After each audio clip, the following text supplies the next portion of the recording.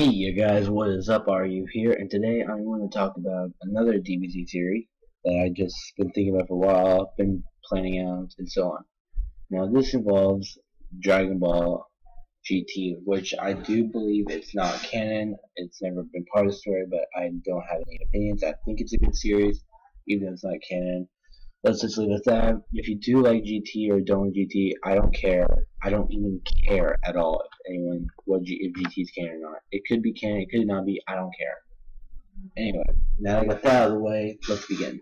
So, at the end of GT, and there was a GT movie, which I thought was good, based, and the ending and the movie kind of related. Goku Jr., Vegeta Jr., which are a hundred years later, after Goku and Vegeta died, after everyone's dead, and just Pan's left they kind of are what the Earth has to offer as Super Saiyans. And you know they're they're like the great great great great great grandchildren or whatever of Goku and Vegeta.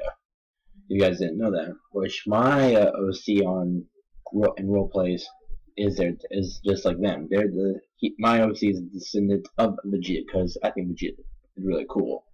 He's strong, he just has a weak move. That's his flaw.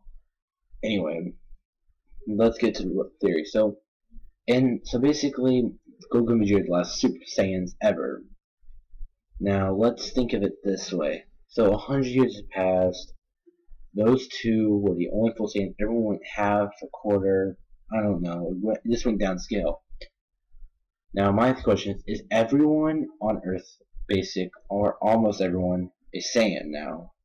Is the Saiyan race being reborn? My question, my now, what makes me think is that hundreds have passed.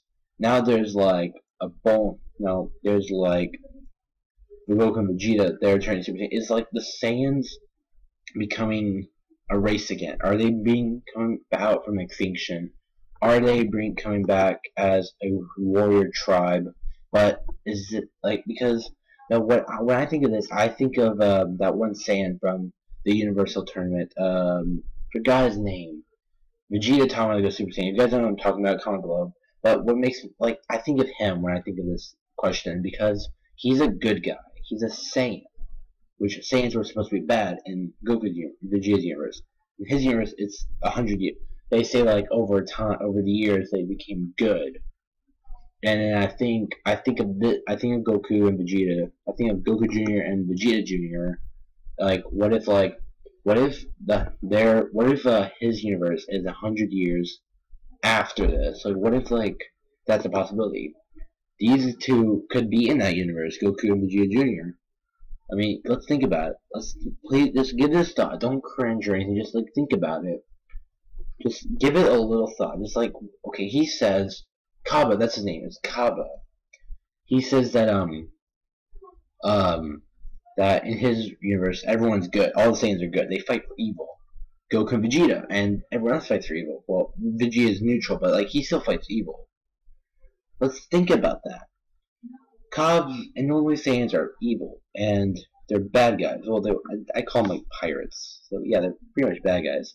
But now they're good thanks to Goku. Now Vegeta is a good guy because of Goku. And well, I guess you count her as a good guy. Well, yeah, she is good actually.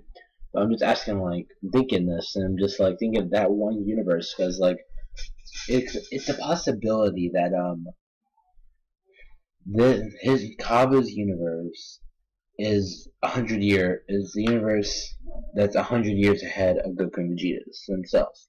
So his plant, but the thing is, what catches me off guard is they live on plant Sadala.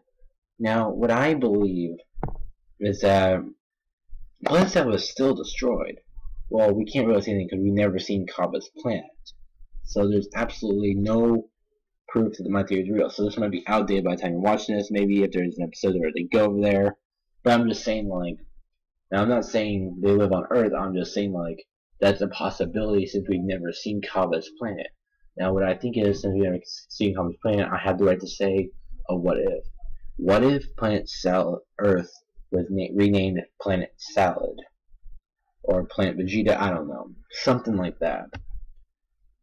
Unless like the some unless Earthlings or what I call the this current Saiyan race goes to planet create finds another planet and takes that over. Doesn't take it over but shares it or something. Now, like I said, it's just a what if theory. I most of my theories are what ifs. They're never like complete theories with thoughts. But um, just like I think about this, and it could be a possibility. I just give it a lot of thought, and it's like this is my results to my thinking.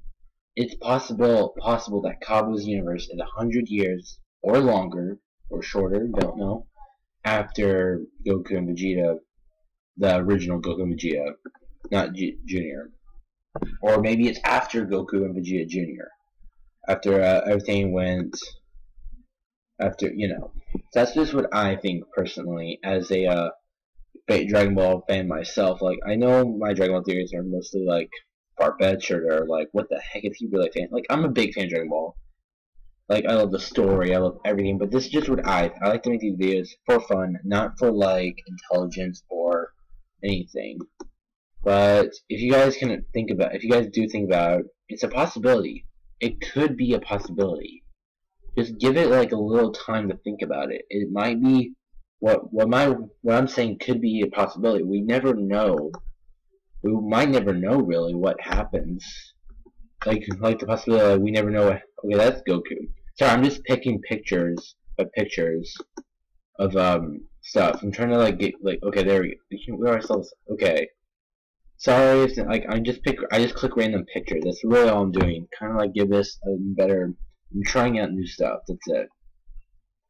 Anyway, guys, I think that's gonna wrap up this video. If you guys want more, let me know in the comments below.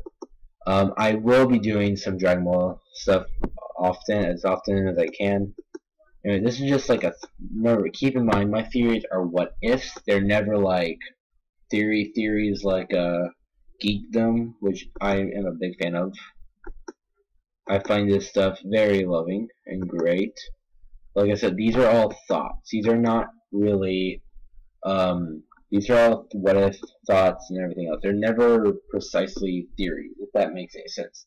But I call them theories because it theories are possibilities, and that's how I look at them. Anyway, guys, I'm gonna go now. I gotta get ready for my next video. Also, I have family coming over before, and I'm hoping to see my sisters today, which is not my most likely won't happen. Anyway, my next theory will be based off Goku at the end of GT. Now, I know you some people don't, a lot of people don't like GT, but I like it personally, and I always want to talk about the end of Dragon Ball GT. Now, I'm gonna I have a lot to say about that, so stay tuned. I'll see you guys in the next Dragon Ball Z theory.